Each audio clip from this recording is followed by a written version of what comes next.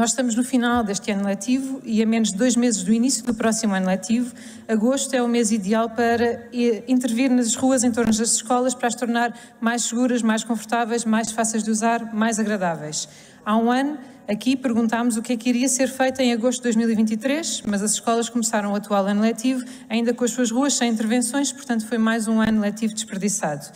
Esta é uma medida que foi aprovada em Câmara Municipal e que faz toda a diferença na forma como as crianças vão para a escola, como vivem a cidade e que faz toda a diferença também na mobilidade da cidade. E, portanto, a minha pergunta hoje é o que vai ser feito neste mês de agosto e quantas escolas vão voltar ao ativo em setembro com as suas ruas já mais seguras e mais confortáveis.